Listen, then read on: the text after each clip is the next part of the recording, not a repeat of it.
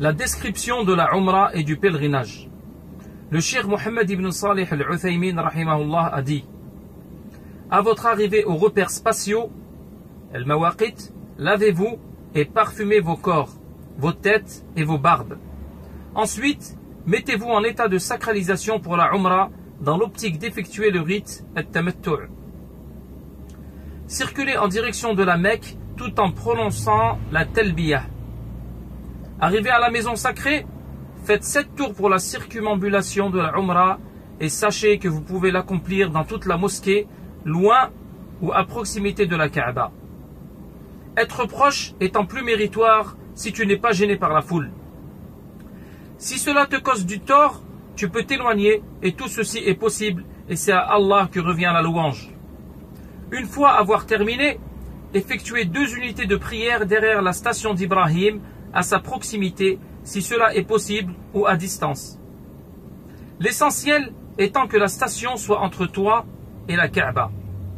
Puis, dirigez-vous pour le circuit de la Umrah en commençant par le mont As-Safa.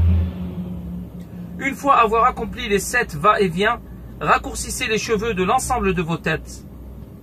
Raccourcir les cheveux que d'une partie de la tête n'étant pas valable, et ne vous fiez pas à ce que font beaucoup de gens.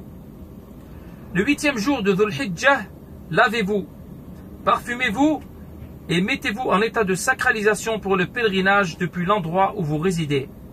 Puis, dirigez-vous à Minan et priez là-bas le Dhuhr, le Asr, le Maghrib, le Isha et le Fajr en les raccourcissant et sans les regrouper.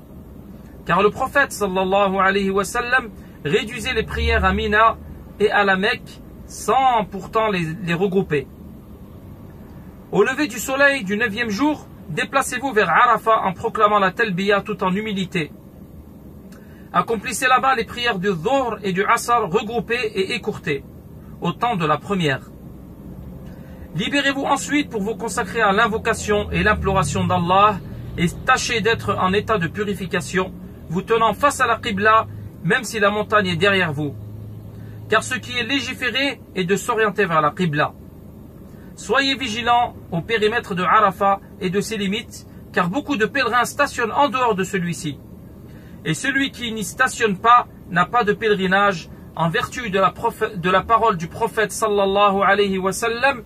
Le pèlerinage est Arafah, al-Hajj Arafah. Tout Arafat est un lieu de stationnement d'est en ouest et du nord au sud, à l'exception de la vallée Wadi Urana, en vertu de la parole du prophète j'ai accompli la station ici et tout Arafat est un lieu de station. Au moment où vous êtes certain du coucher du soleil, dirigez-vous à Muzdalifa en proclamant la talbiya tout en humilité. Observez la quiétude et maintenez vos places comme vous l'a ordonné votre prophète qui lorsqu'il se déplaça de Arafat, serra fortement les rênes de sa chamelle à un point où sa tête touchait sa selle, afin de la ralentir au maximum, tout en disant, faisant signe avec sa noble main, Ô gens, soyez sereins, soyez sereins. Une fois arrivé à Muzdalifa, accomplissez les prières du Maghrib et du Isha, puis passez la nuit jusqu'à l'aube. Le prophète sallallahu alayhi wa sallam n'a autorisé à personne de quitter Muzdalifa avant l'aube, si ce n'est aux faibles. Il leur a permis de partir en fin de nuit. Une fois avoir accompli la prière du Fajr, orientez-vous à la Qibla et proclamez la grandeur d'Allah, louez-le et invoquez-le jusqu'à ce que la lueur jaune apparaisse fortement à l'horizon. Puis prenez la route avant la levée complète du soleil pour Mina. Ramassez ensuite sept cailloux et allez à la stèle Al-Aqaba qui est la plus lointaine et la plus proche de la Mecque. Lapidez-la après le lever du jour à sept reprises en proclamant la grandeur d'Allah à chaque jet en toute humilité. Et sachez que le but de la lapidation est la vénération d'Allah et son évocation. Il faut obligatoirement que le caillou tombe dans le bassin et ce n'est pas une condition qu'il soit projeté contre le poteau. Lorsque vous avez terminé la lapidation de la stèle, sacrifiez votre bête qui doit remplir les mêmes conditions que celles du sacrifice du Eid al-Udhiyah.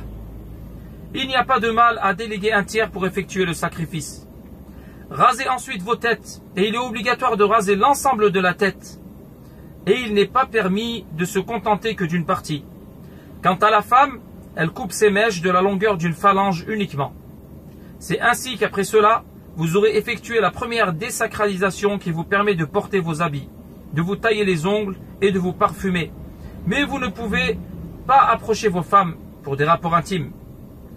Puis partez à la Mecque avant l'heure du Dhuhr et accomplissez la circumambulation du pèlerinage ainsi que pour le circuit entre Safa et le Marwa, puis regagnez Minan. Et c'est ainsi que par la circumambulation, le circuit, la, lapidation et le rasage, vous avez effectué la deuxième désacralisation et que tout vous est permis, même vos femmes. Ô gens, le pèlerin, le pèlerin accomplit quatre rites le jour du rite. La lapidation de la stèle, le sacrifice, le rasage de la tête et la, et la circumambulation et le circuit. Et les faire dans cet ordre est le meilleur. Mais il n'y a pas de mal à faire devancer un de ces quatre rites sur un autre, comme le fait par exemple de se raser avant de sacrifier. De même qu'il n'y a pas de mal à retarder la circumambulation et le circuit après le séjour à Minan ou d'effectuer le sacrifice à la Mecque le treizième jour, surtout en cas de besoin.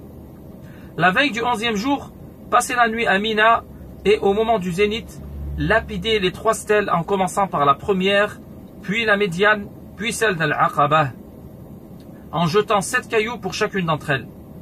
Le début du moment de la lapidation, le jour du Eid, pour celui qui est capable, et du lever du soleil, et pour le faible, et de la fin de la nuit, la veille du Eid. Sa fin est jusqu'au coucher du soleil.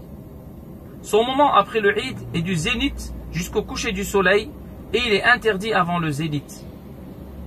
Il est permis d'accomplir la lapidation la nuit si la foule est importante le jour. Celui qui ne veut pas lapider lui-même en raison de son jeune âge ou de sa vieillesse ou d'une maladie peut déléguer quelqu'un qui la fasse à sa place. Et il n'y a pas de mal que celui qui a été délégué jette les cailloux pour lui et pour celui qui l'a dépêché au même endroit. Mais il doit commencer par son rite à lui une fois avoir accompli la même chose le douzième jour, alors votre pèlerinage est terminé et vous avez le choix entre vous empresser ou rester. Si vous le souhaitez, passez une nuit supplémentaire et, lapider les trois stèles le treizième jour après le zénith. Et faire un jour de plus est meilleur car c'est ce qu'a pratiqué le prophète sallallahu. Au moment où vous désirez quitter la Mecque, effectuez la circumambulation de l'adieu, sauf pour celles qui sont en période de menstru ou de lochi, celui qui ne les, celui-ci ne, les incombe point, ou celui-ci ne leur incombe point. Et il ne leur est pas légiféré de venir et de se tenir à la porte de la mosquée.